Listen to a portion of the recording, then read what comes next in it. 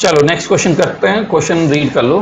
Two equally charge identical metal sphere A and B repel each other with a force F the sphere are kept fixed with a distance small r between them a third identical but uncharged sphere C is brought in contact with A and then placed at the mid point of the line joining and B the magnitude of the net electric force on C तो सबसे पहले हमें figure बनाना चाहिए। Figure में क्या होना चाहिए? पहले तो हमको दो बॉडीज को ड्रॉ करना होगा। ये ए हो गया, ये हमने कहा, ये बी हो गया। ठीक है? दोनों आइडेंटिकल हैं तो दोनों का रेडियस हमने कहा कि इक्वल है आर बी और दोनों पे इक्वल चार्ज है तो प्लस क्यू इस पे भी प्लस क्यू इस पे भी कंसिडर कर लेते हैं। ये ए है, इसको बी कह देते हैं। दोनों के बीच की जो डिस्टेंस है, वो कितनी है? स्मॉल आर तो फोर्स एफ़ कह रहा है, इस पे लगा है। फोर्स की वैल्यू कितनी होगी? F equal to k q plus q into plus q coulomb force distance r square तो क्या हो गया? एफ़ की value k q square upon r square ये हो गई फोर्स की वैल्यू इस केस में।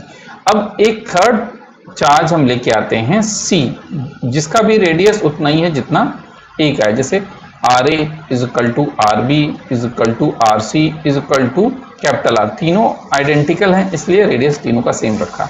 अब हुआ क्या कि ए के साथ कांटेक्ट में लेके आए सी को। ये ए है, ये सी है। ये कांटेक्ट में लेके आए। इसको फिगर ठीक से बना दें। ठीक है, ये ए और सी कांटेक्ट में आ गए। तो इस पे चार्ज था क्यू प्लस क्यू इस पे ज़ीरो चार्ज था।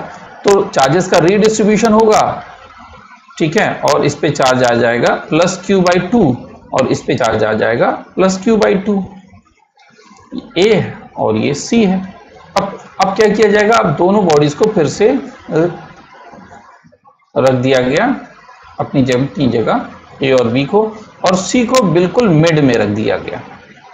यानी मिड में अगर रख देंगे तो ये डिस्टेंस आर बाई टू हो जाएगी, ये distance small r by two हो जाएगी, यहाँ से यहाँ तक। और यहाँ से यहाँ तक की डिस्टेंस आर बाई टू हो जाएगी। अब क्वेश्चन ये है कि इस पे चार्ज आ चुका है क्यू बाई टू इस पे भी क्यू बाई टू और इस पे तो क्यू है ही पहले से। इसमें कोई चेंजेस बी में कोई चेंजेस नहीं है। तो ए सी पे रिपल्शन का फोर्स लगाएगा, इधर force on C due to A क्योंकि ये भी बी भी इस पे रिपल्शन का फोर्स लगाएगा। Force on C due to B अब इन दोनों की वैल्यू निकालते हैं। Force on C due to A and force on force on दोनों की वैल्यू निकालते हैं। देखते हैं क्या आता है। तो force on C due to A की वैल्यू कितनी होगी? K plus q by two into plus q by two divided distance r by two का होल स्क्वायर ये कितना आ जाएगा?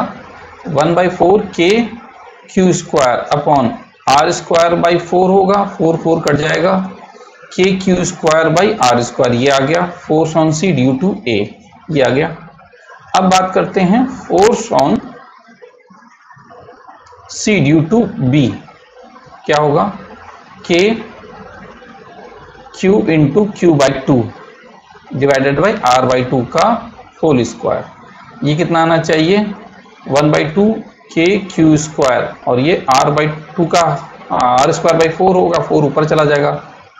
ये आ जाएगा two k q square by r square force on C due to B clear है?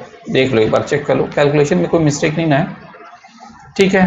तो अगर force on C due to B की वैल्यू वो आ, ये वैल्यू एफ़ के इक्वल है ना? एफ़ के k q square by r ये वैल्यू एफ़ के इक्वल है। ये वैल्यू टू एफ़ के इक्वल है, यानी इस तरफ़ टू एफ़ फोर्स लग रहा है, इस तरफ़ एफ़ न्यूटन का फोर्स लग रहा है तो सी पे नेट फोर्स इधर लगा और कितना? तो नेट फोर्स इधर लगा सी पे लेफ़्ट साइड में, और उसकी वैल्यू कितनी हुई? टू एफ़ माइनस एफ़ यानी एफ़ के इक्वल हो गए तो ऑप्शन कौन सा सही हुआ? ये ऑप्शन सही हुआ। करेक्ट है? चलो नेक्स्ट क्वेश्चन करते हैं।